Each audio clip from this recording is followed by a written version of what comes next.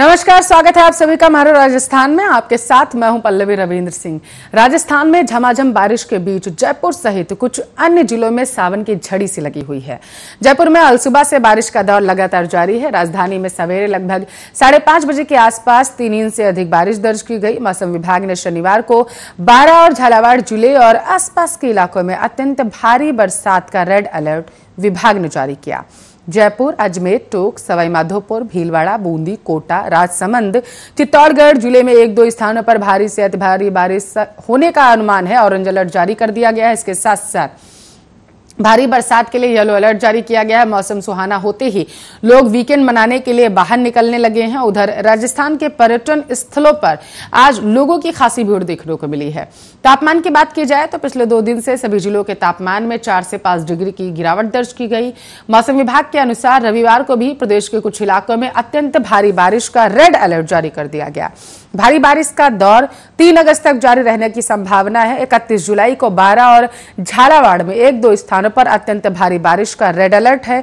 जयपुर, अजमेर, टोक, सवाई, माधोपुर, भीलवाड़ा, बूंदी, कोटा, राजसमंद, चित्तौड़गढ़ में एक स्थानों पर भारी से अति भारी बारिश का ऑरेंज अलर्ट है। करौली, उदयपुर, प्रतापगढ़, नागौर और पाली में एक दो स्थानों पर भारी बारिश का येलो अलर्ट।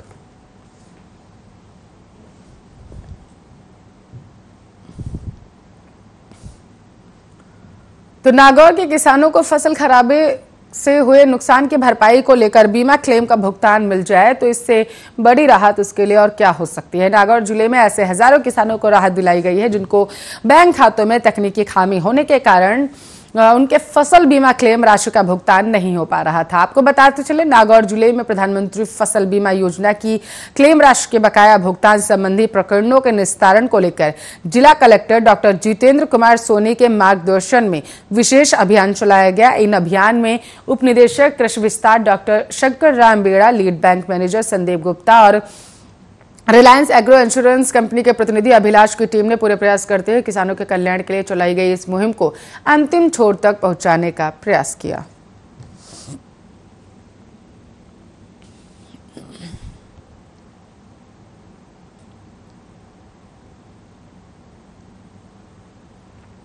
कांग्रेस के राष्ट्रीय महासचिव और प्रभारी अजय माकन ने दो दिन विधायकों और एक दिन पदाधिकारियों के साथ मंथन करने का फैसला किया। इस मंथन में पहले विधायकों और बाद में पदाधिकारियों का फीडबैक लिया गया। मंथन के बाद ये सवाल भी राजनीतिक क्षेत्रों में घूम रहा है कि अब जब होमवर्क पूरा हो गया तो नतीजा कब आएगा? यानी मंत्रिमंडल फेरबदल कब होगा और राजनीतिक नियुक्तियों का सिलसिला कब तेज होगा? भारी प्रभारी अजय माकन अपने तीन दिन के दौरे और फीडबैक के बाद अपनी रिपोर्ट को कांग्रेस अध्यक्ष सोनिया गांधी को सौंपेंगे। इस रिपोर्ट के आधार पर राजस्थान में मंत्रिमंडल फेरबदल राजनीतिक नियुक्तियों और संगठनात्मक फैसले किए जाएँगे। माना जा रहा है कि अगस्त में यह शुरुआत हो सकती है। पहले जिला अध्यक्षों की घोषणा की जा सकती है। इसके बाद मंत्रिमंडल में फेरबदल, बोर्ड नियमों में चेयरमैन, संसदीय सचिव की नियुक्ति सहित अन्य काम होंगे। माकन ने अट्ठाईस और उनतीस जुलाई को विधानसभा में कांग्रेस और समर्थित विधायकों के साथ संवाद किया था और कल पीसीसी में पदाधिकारियों के संग बैठक भी ली।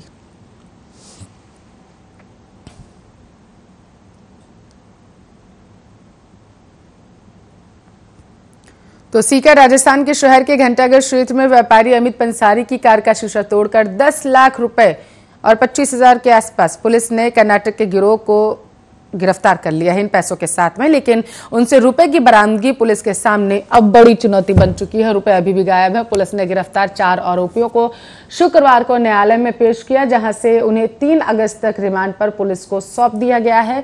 पुलिस आरोपियों से चोरी कर ले जाई गई रकम के बारे में पूछताछ कर रही है। गिरफ़्तार आरोपी वारदात के बाद पैसों को आपको बताते चले, आराम से खर्च कर रहे थे। शहर कोतवाल कन्हैयालाल ने बताया है कि पैसा आते ड्राई फ्रूट और ऐशो आराम पर पैसा खर्च कर दिया गया। सीकर शहर में हुई वारदात के बाद इन्होंने कुछ पैसा ऑनलाइन सट्टा में लगा दिया। कुछ पैसा घर परिजनों को भेजने की जानकारी मिली। वहाँ से पैसा बरामद करने के लिए पुलिस टीम कर्नाटक गई हुई है।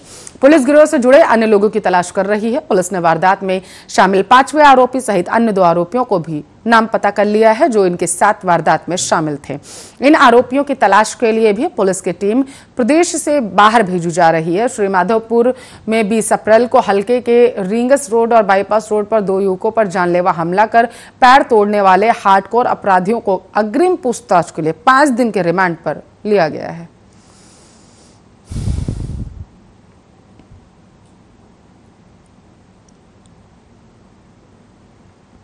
तो कार में सवार होकर खुशी खुशी हँसते हुए उदयपुर की वादियों में मौज मस्ती करने जा रहे पाँच दोस्तों में से चार की जयपुर कोटा राष्ट्रीय राजमार्ग के सरोली मोड़ पर शुक्रवार रात सड़क दुर्घटना में मौत हो गई।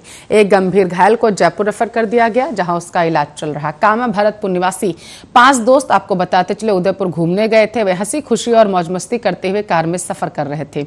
इसी दौरान अचानक सरोली मोड़ चौराहे पर बिना देखे मार्ग पर आए वाहन से उनकी कार टकरा गई। अचानक हुई दुर्घटना में चारों की मौके पर ही मौत हो गई है, जबकि एक गंभीर रूप से घायल है। चौराहा स्थित होटल पर बैठे लोग भागकर मौके पर गए और पुलिस को घटना की सूचना देकर कार में बुरी तरह फंसे मृतकों और घायलों को बाहर निकाला। पुलिस ने मृतकों के शवों को दूनी अस्पताल की मोर्चरी में रखवाया, जबकि गंभीर घायल को टोंक रेफर कर दिया है। हालात गंभीर होने पर उसे जयपुर रेफर कर दिया गया, जहाँ उसका उपचार चल रहा। शनिवार सुबह परिजनों के पहुँचने पर पुलिस ने मृतकों के शवों को पोस्टमार्टम करा, उन्हें सौंप दिया है। इधर पुलिस दुर्घटना के कई घंटों बाद यह पता नहीं कर पा रही है कि दुर्घटना करके फरार जो हो गए, वो कहाँ कहाँ गए आखिर। आपको बताते चले, ट्रैक्टर ट्रॉली की टक्कर से ये भीषण सड़क हादसा हुआ है, ऐसी प्रथम जाँच में पता चला है।